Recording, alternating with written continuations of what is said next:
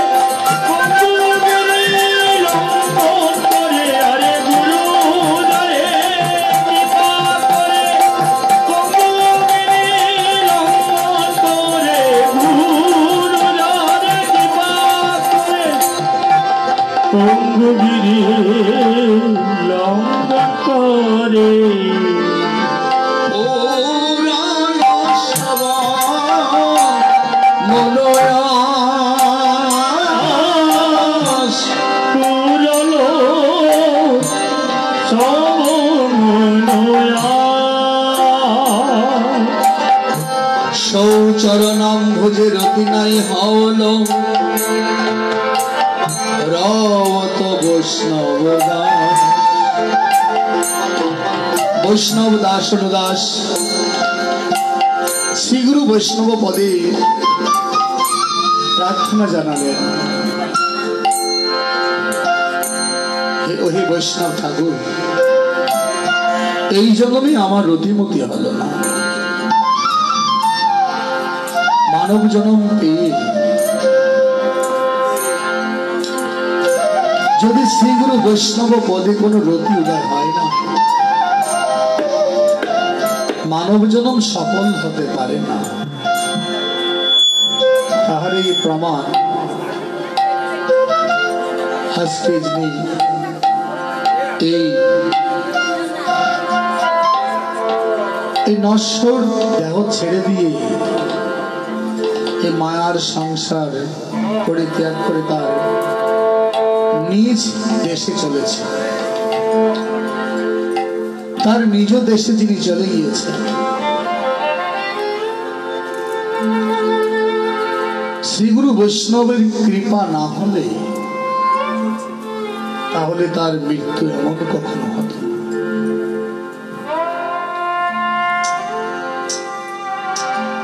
যিনি আজ হয়তো তার নশ্বর দেহখানি আমাদের মাঝে নেই।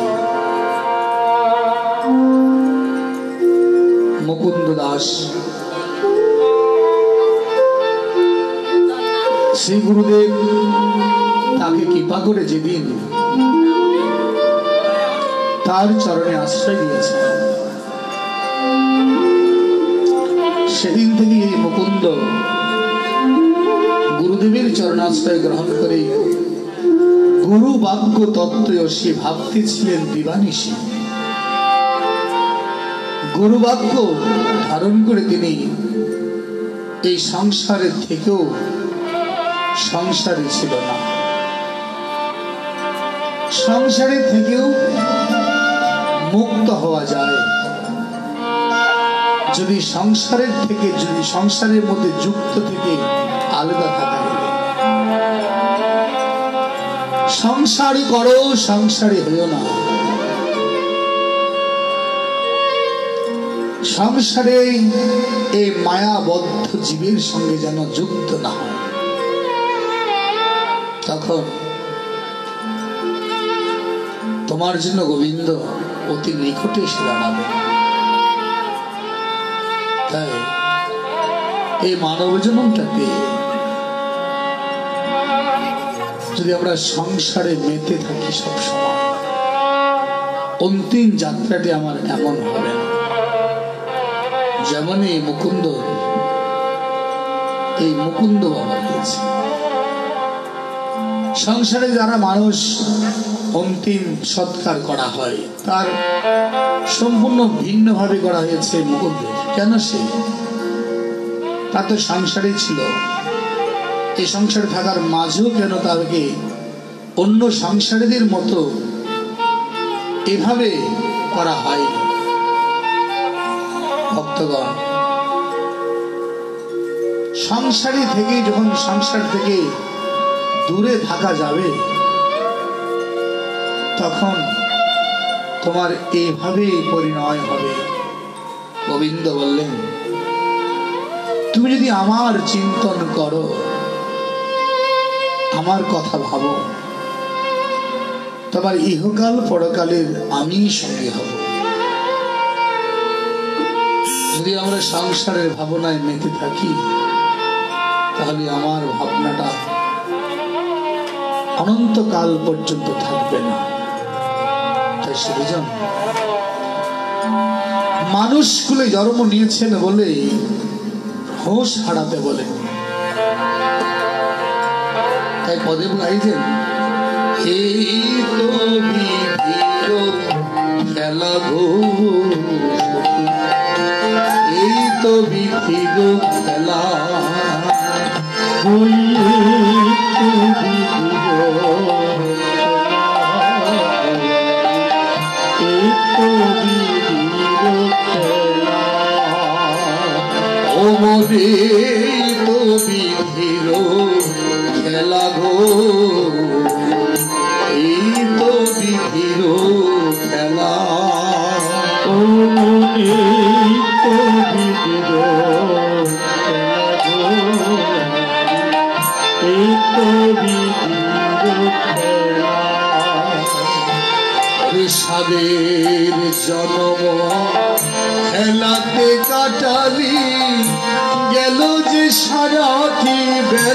বেলা গো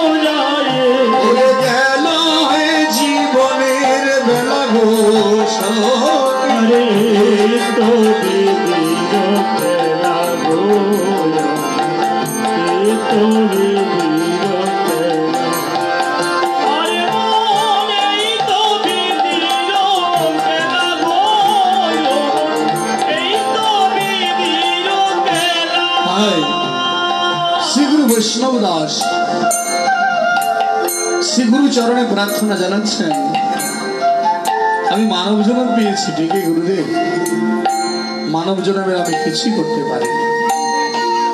সদা সর্বক্ষণ মানব জন্মটা কাটিয়েছি কামনা, বাসনা নিয়ে। আমরা সব সময় কামনা, বাসনায় আবদ্ধ থাকি। এই কামনায় আমাকে কত কামনার সাগরে ভাসিয়ে নিয়ে যায় তা আমরা জানি না। শুধু কামনা বাড়তেই থাকে সংসারে, কামনা কখনো কমে না। কিন্তু আমরা কামনা করি না। আমাদের এই কামনা সাগরে ভাসতে ভাসতে একদিন আমি অকুল সাগরে ভেসে যাব। তখন কোনো কিনারা আমি পাবো। আর কিনারা পেতে হলে ওই কামনা আর বাসনার সঙ্গে ভগবানের চরণ প্রার্থনা আমাদের রাখতে হবে। ভগবানের কাছে তুমি কামনা করো, তাতে দুঃখ নেই। যেহেতু সংসারে কিন্তু কামনা এমন একটা বস্তু, কামনা করো, যা তোমার দুকুল রক্ষা হবে। দুটি কুল তোমার ঠিক থাকবে, এই কুল আর ওই কুল। এমনই ভগবানের কাছে তুমি কামনা করো। কিন্তু আমরা বুঝি আমরা মায়ার সংসারে আবদ্ধ হয়ে শুধুমাত্র এই সংসারের জড়তা নিয়ে আমরা জীবন কাটিয়ে ফেলি। তাতে কি হয়? মৃত্যুকালে আমার দেহটা স্পৃশ্য হয়ে যায়, অপবিত্র হয়ে যায়। এই দেহ যতক্ষণ পর্যন্ত পরশমণির পরস্পর্শ হবে না, তখন এই দেহটা ততক্ষণ শুদ্ধ হবে না। আর যখনই এই দেহ যখন পরশমণির সাথে সম্বন্ধ হয়ে যাবে, পরশ হয়ে যাবে, তখন এই দেহে কখনো অপবিত্র থাকে না। তারই প্রমাণ এই মুকুন্দ মাস্টার তিনি তো সংসারেই ছিলেন। ও তো সংসার ত্যাগ করে যায়নি। তাহলে ওনারা আজকের এই আয়োজন এমন কেন হলো? কোথায় গেল পরশ? কোথায় গেল অশুদ্ধতা? কেন এটা হলো? শুধু জন এই দেহ যখন গোবিন্দ চরণে সমর্পণ করা হয়, যিনি দেহখানি সমর্পণ করে দেয়, তখন এই দেহ আর অশুদ্ধ কখনো হতে পারে না। এই দেহের অধিকারী প্রেত যিনি প্রাপ্ত হতে পারে না যিনি বলছে কি সর্বমহাপ্রায়শ্চিত এই গোবিন্দের নামে। সর্বমহাপ্রায়শ্চিত্ত আমরা কি করি? মা বাবা যখন বৃদ্ধ হয়ে যায় রোগীর সঙ্গে কষ্ট পায়। তখন আমরা মা বাবাকে প্রায়শ্চিত্ত করিয়ে দিই। বলেনি আপনাকে প্রায়শ্চিত্ত করে দিলে তাড়াতাড়ি হয়তো মরে যাবে, না হলে বাঁচবে। কিন্তু গৌরীয় সিদ্ধান্তে মহাপ্রভু বললেন, দেখো গো, ওই প্রায়শ্চিত্ত করলে তুমি কখনো যদিও বা এই মানবের চোখে তুমি বাঁচতে পারো ঠিকই, কিন্তু জমের তোমাকে ছাড়বে না। হয়তো মানবী তোমাকে বলবে, সে প্রায়শ্চিত্ত করেছে, সে এখন পবিত্র হয়ে গেছে। কিন্তু না গো, এই মন্ত্রে তন্ত্রে যদি কাজ হয়ে যেত, তাহলে তো সাধনার আর প্রয়োজন ছিল না, তন্ত্র মন্ত্র করে সব উদ্ধার হয়ে যেত। কি প্রয়োজন ছিল সাধন? কি প্রয়োজন হচ্ছে ভজন? সারা জীবন পাপ করব? সারা জীবন অন্যায় করব? মৃত্যুর আগে প্রায়শ্চিত্ত করে ফেলব, ব্যাস হয়ে গেল। কিন্তু না ওই প্রায়শ্চিত্তে তোমাকে মানবে ছাড়তে পারে, কিন্তু জম তোমাকে ছাড়বে। তো জম থেকে রক্ষা পেতে হলে বললেন সর্বমহা প্রায়শ্চিত্ত এই পৃথিবীতে ব্রহ্মাণ্ডের সর্বপ্রায়শ্চিত্ত হচ্ছে তখনই যখন এই মানব দেহে থেকে স্থূল দেহ পেয়ে আমরা গোবিন্দ ভজনে, গোবিন্দের চরণে যেদিন আমি আত্মসমর্পণ করব, এই আত্মকে, এই আত্মাকে যখন আমি সমর্পণ করে দেব, সেদিনই হচ্ছে আমার মহাপ্রায়শ্চিত্ত। আর এই প্রায়শ্চিত যখন হয়ে যাবে, তোমাকে আর জম তোমার কাছে আসতে পারবে না। প্রেত যদি তোমার কাছে আসতে পারবে না, তোমাকে আবার মন্ত্র দ্বারা শুদ্ধ করতে হবে না। সেই তখনই আমরা বলি বৈষ্ণব মারা গেল, তাকে তো পিণ্ডি দেওয়া হলো না, তার শ্রাদ্ধ করা হলো না, তার তিনি শুদ্ধ হলো কি করে? ভক্তগণ, সে শুদ্ধ হলো কি করে? ভক্তগণ সেই শুদ্ধ হলো কি করে?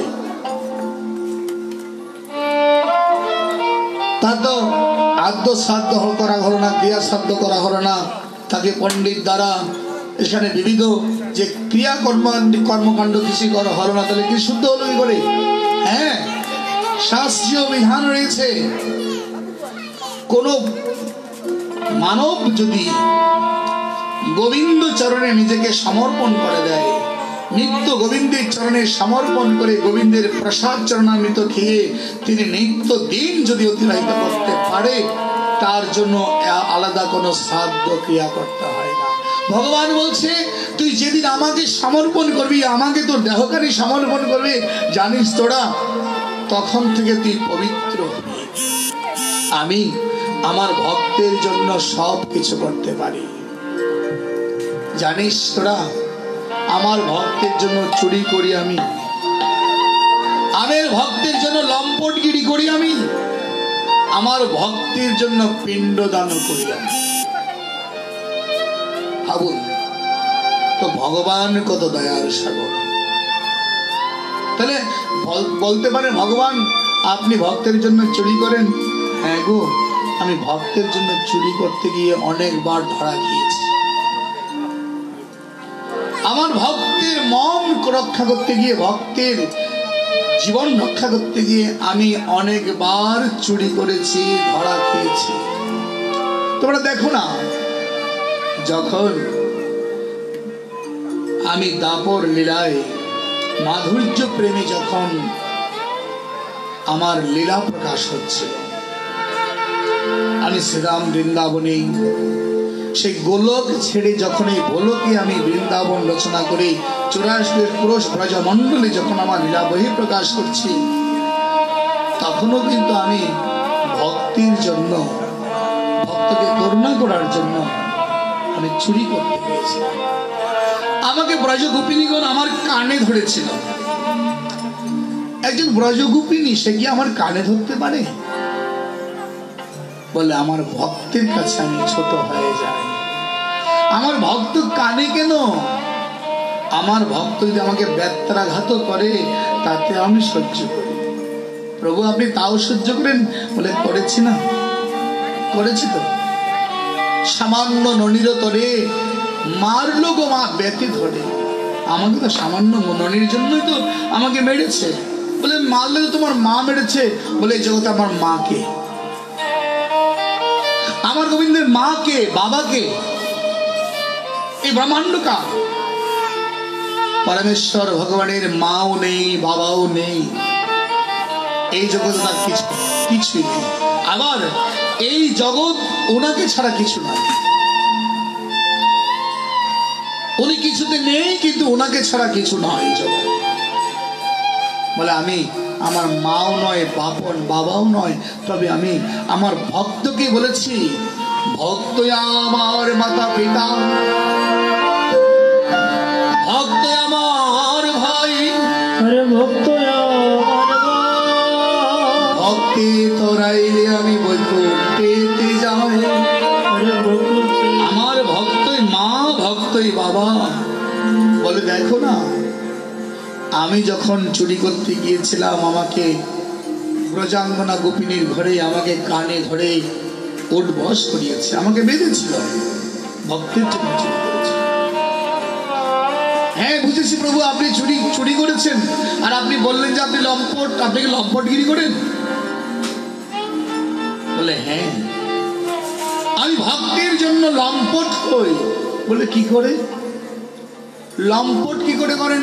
বলে, করি তো আমি লম্পট। কেমন করে করো? বলে, জানো গো, আমার ভক্ত যখন আমাকে ডাকে না, আমাকে ডাকে না, যেমন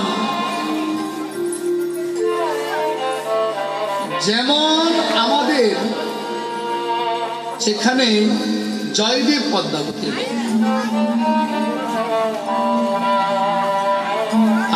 আর ভক্তদেরকে প্রমাণ দিয়েছে যে যখন একজন ভক্ত কামনা বাসনায় আসক্ত হয়ে যায় আর রমণী ঘরে থাকে। রমণী কিন্তু ঘরে থাকে, তিনি তো তাকে ডাকে না। আর ওই ভক্ত কামনায় আকৃষ্ট হয়ে তিনি উপনীত হয় ওই কামিনীর কাছে।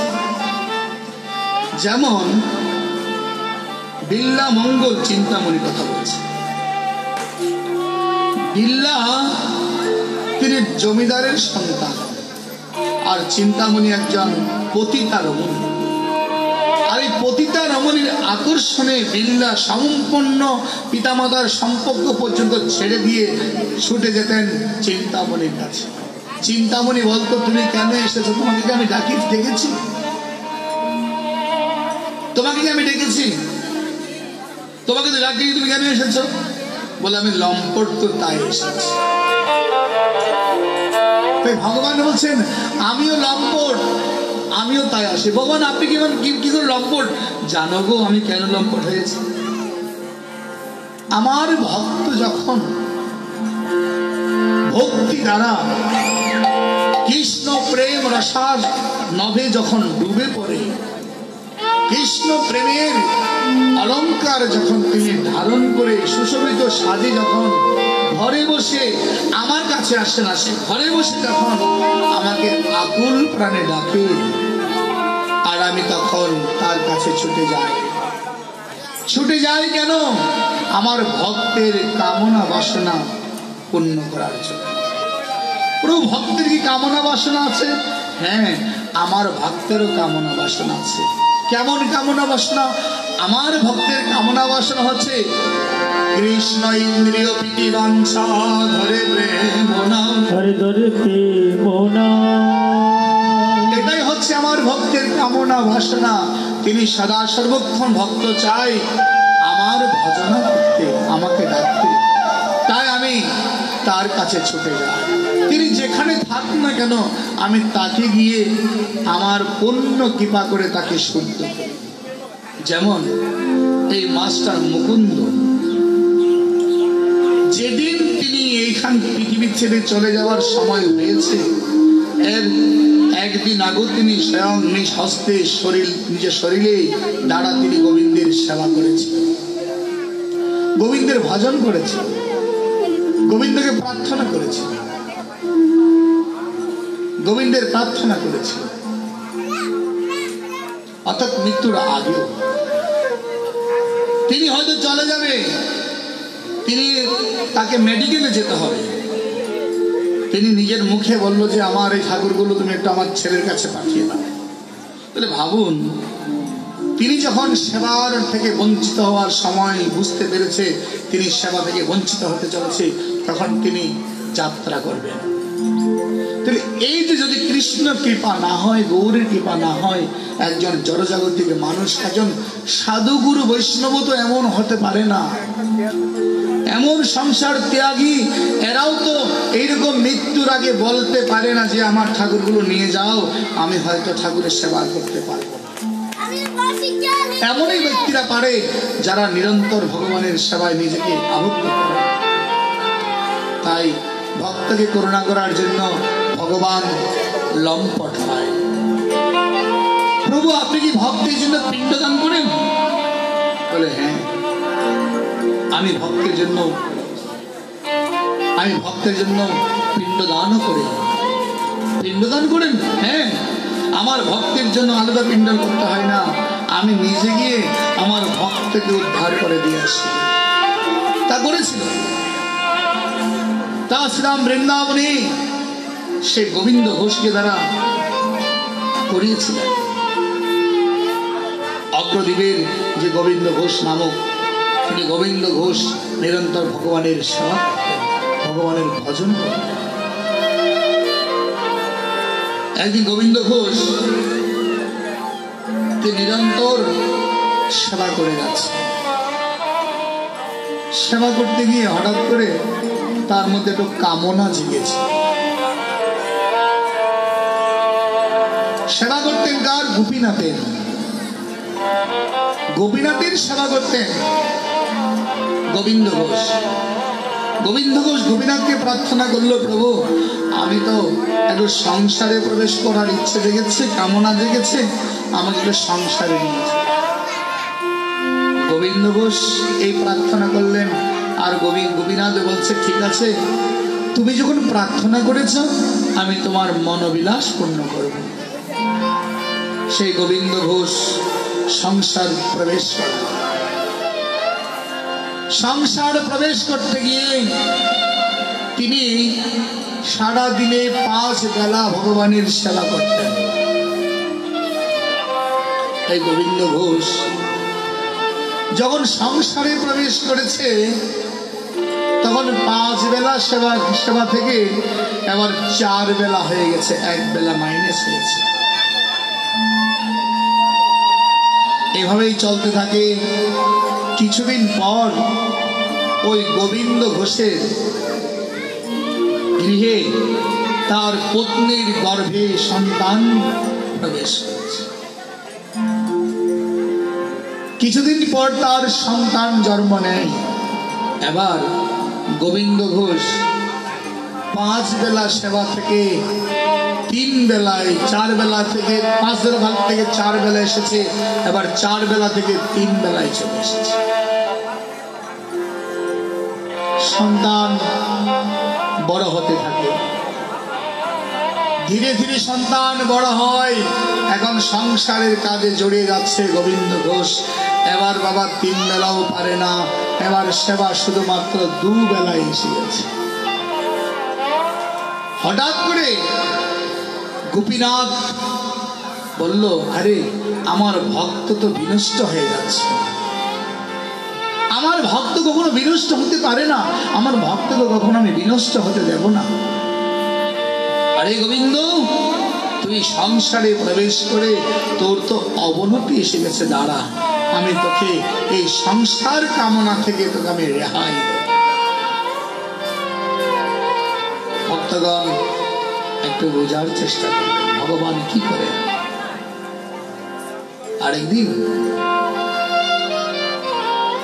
গোবিন্দ ঘোষের স্ত্রী অঙ্গে বিষম পীড়া হলো। বিষম পীড়া হলো। পীড়া হয়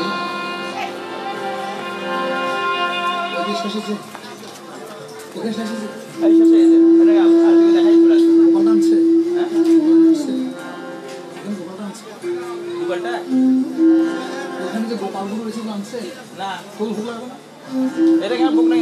ওখান থেকে নিয়ে আসো না তারপর ওখানে যাও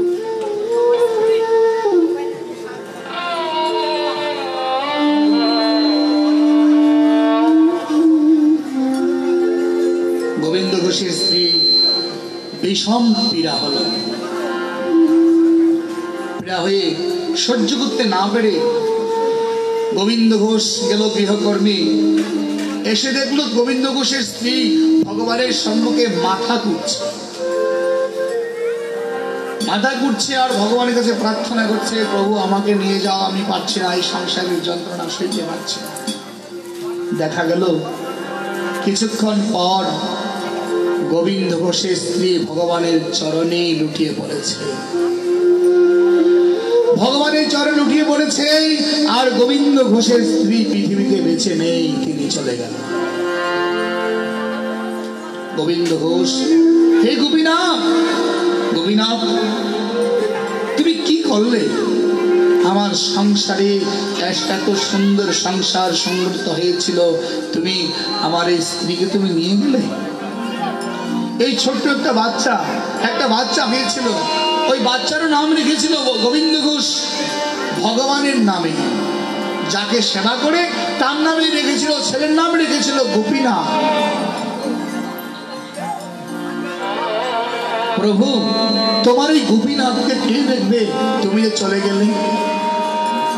ছোট্ট গোপীনাথ, বাবা একা হয়ে গেল, গোপীনাথ একা হয়ে গেল। মাকে নিজ হস্তেই সমাধিস্থ করলেন।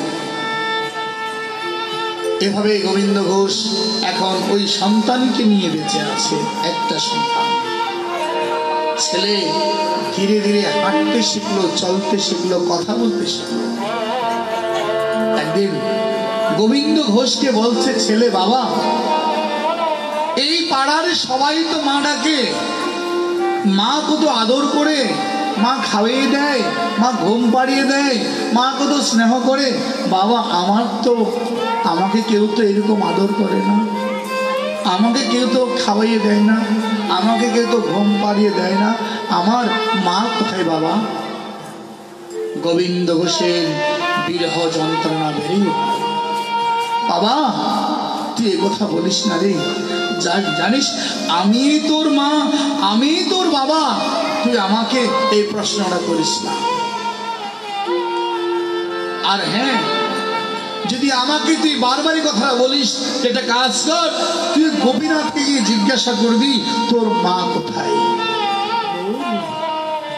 ছোট্ট বালক, বাবা গেল গৃহকর্মে, এবার ওই সন্তান ঘরে কাউকে না পেয়ে গোপীনাথের সম্মুখে গোপীনাথের কাছে গিয়ে বলে, হে গোপীনাথ, বলো তো, আমার মা কোথায়? আমার মা কোথায়? প্রতিদিন শুধু একটাই রব আমার মা কোথায়? আমার মা কোথায়?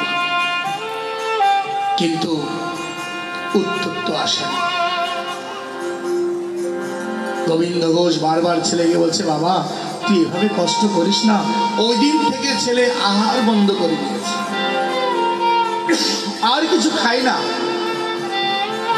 এইভাবে কয়েকদিন হয়ে গেল, বারবার ছেলে গোবিন্দের কাছে গিয়ে বলছে, গোপীনাথ, বলো আমার মা কোথায়? হঠাৎ করে একদিন তার সন্তানের নাক, মুখ দ্বারা রুদির বাইরে শুরু করল, রক্ত বাইর হচ্ছে। একই একই হলো আমার ছেলের গোপীনাথের কাছে প্রার্থনা করছে গোপীনাথ গোপীনাথ, আমার ছেলের কি হলো? আমার ছেলে কি হলো বলো? ভাগ্যের নিম্নম পরিহাস। দেখতে না দেখতে একমাত্র গোপীনাথ সেও পৃথিবী থেকে বিদায় নিল। এবার পিতা একা। একজন পিতা যদি তার স্ত্রী এবং সন্তানকে হারায়, তখন তার জীবনে আর কি হয়? তিনি অভিমান করল। গোপীনাথের সঙ্গে অভিমান করল। গোপীনাথকে বলছে, গোপীনাথ, আজ থেকে আমি আর তোকে খাওয়াবো নিজেও খাওয়াবো না, নিজেও খাব না, এবং তোকেও আমি খাওয়াবো না। তোকেও না হয় রাখব আমি আর তোর। গোপীনাথ এভাবে রয়েছে, আর গোবিন্দ ঘোষের আহার বিহার বন্ধ হয়ে গেল। আহার করে না, নিদ্রা যায় না। এভাবে চার দিন অতিবাহিত হয়েছে। চার দিন অতিবাহিত হওয়ার পর গোপীনাথ বসে আছে। বিগ্রহ। আর গোবিন্দ ঘোষ, শয্যাশায়িত। গোবিন্দ ঘোষকে দেখে এবার গোপীনাথ বলছে, গোবিন্দ ঘোষ! গোবিন্দ ঘোষ, তুই আমাকে ভোগ লাগা। তুই আমাকে ভোগ লাগা? সৃজন গোবিন্দ ঘোষ ভগবানের কাছে পং ধরলেন। ভোগ লাগাতে পারি সত্য আছে।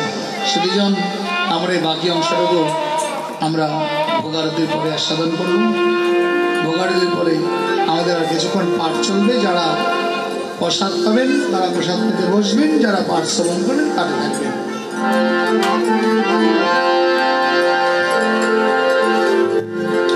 ভজ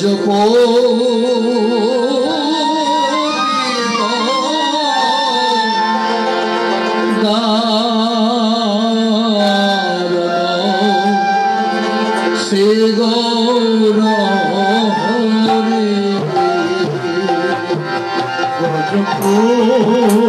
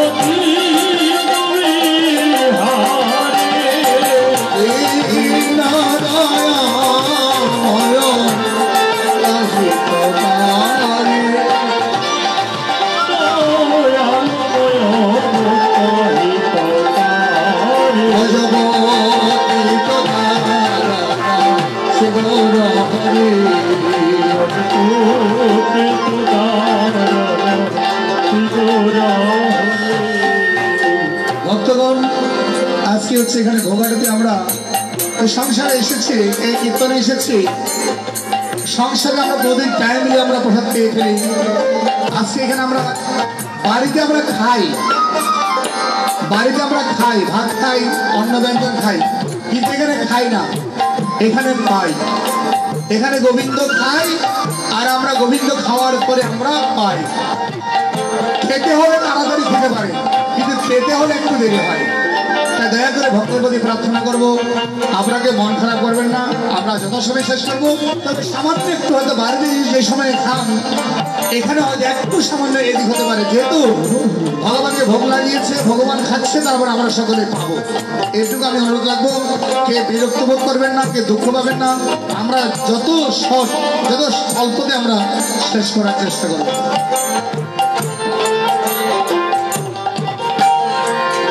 এসো এসো, মহাপ্রভু। এ দাও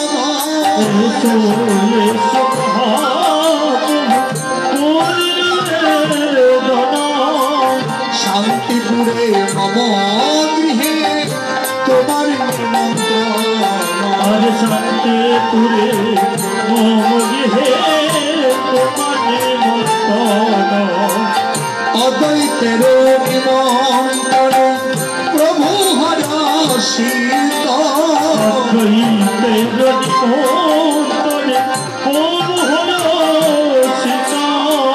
জয় রাধে শ্রী রাধে। গমন করি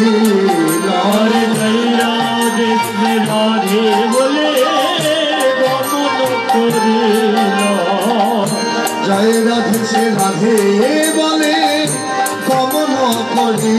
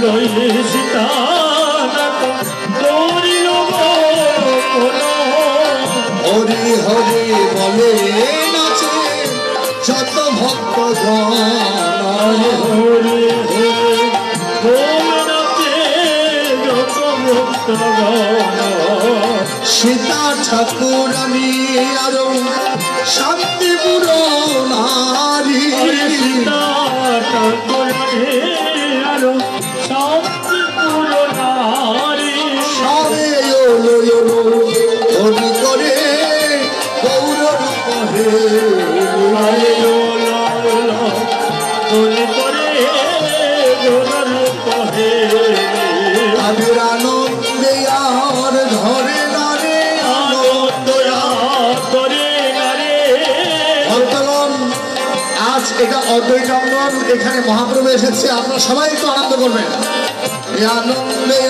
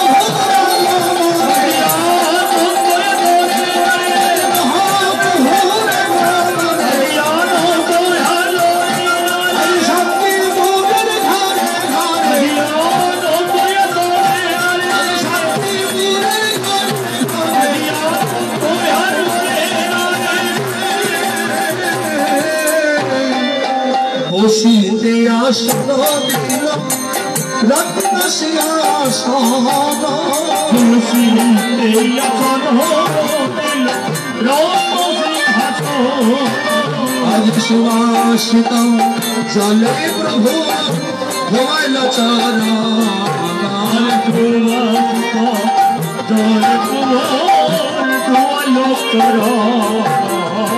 শস্য বস্ত্র দিয়ে প্রভু চরণ মুছিল বস্ত্র দিয়ে চরণ মুছিল গন্ধ পুষ্প তুলসী দিয়ে খুশি আমার খন্ড উত্তর ফুল দেবী উত্তর খুশি আর নয়ন জলে পাথর নয়ন জলে পাথর